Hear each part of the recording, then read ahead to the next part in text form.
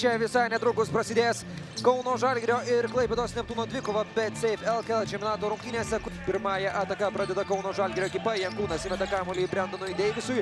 Pastaruoju metu puikiai Eurolygoje rungtyniaujantis amerikietis pelno pirmosius rungtynės. Labai labai sunku. Aš sakyčiau, toks priverstinis atradimas, kuomet Neptūną paliko pagrindiniai lyderiai. Čia vėl Želionis 2 plus 1, kuomet komandoje nebėra. Tikrai labai gera. Ir žalgiriečiai greitai bando perėti į polimą. O. Edgaras Želionis išdygęs lyg iš niekur dabar baudžia Keviną Pangosą.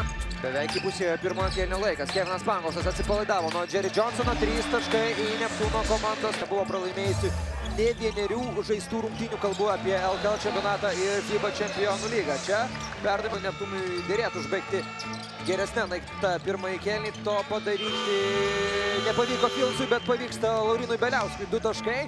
Vasilija Micičius ieško po krepšio Antano Kavaliausko. Na, jeigu čia jau nebedažų žaistų beveik dviejų, daugiau negu dviejų minučių. Šulskis, jo greitas metimas, du taškai krepšyje. Vyno ekipa. Beno Udrikas. Jau tris tritaškius jis yra pataikęs šiose rungtynėse. Paulius Jankūnas pataiko. Simas Galdikas. Na, labai buvo smagu stebėti Simą Galdiką metant baudų metimus ore, kad išvengtų bloko. e, Deivisas irgi aukštai šoka, daug aukštesnis už varžovą. Ir Milaknis šiandien nusiteikė sudraskyti varžovų krepšio. Man gal anksčiau reikėjo keisti gynybos sistemą, kažką daryti. Nesvarbu, kad e, žalgiriečiai pataiko iš toli, kartais gynybos Pagalba buvo atėjęs ir Želionis, dabar Jankūnas pakankamai lengvai Želionio gynybą įveikė. Pirmoji bandymų nepataiko, antroji randa dar ir varžovo pražangą. Laimonas Visėlis prieš Edgarą Ulanovą. Dvigubą Žalgirio komandos gynybą, perimtas kamuolys, Paulius Valinskas greitoje atakoje ir čia 2 plus 1. Vykęs, išsigandęs amerikietis. Na ir, O, Edgaras Želionis. juodadarbis žaidėjas rungtyniavo labai naudingai. E, Masiulio stogas e, varžovui. Tengiant po didžiosios pertraukos skirtumas auga beveik kaip ant mielių. Makėjus.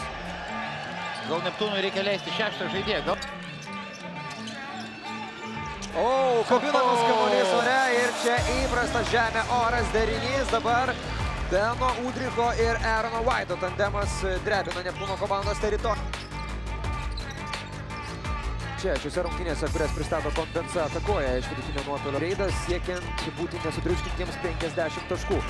Sajus leido į krepšį bambos Lietuvos rytą, jeigu ne, tai įsitvirtinti trečioje vietoje.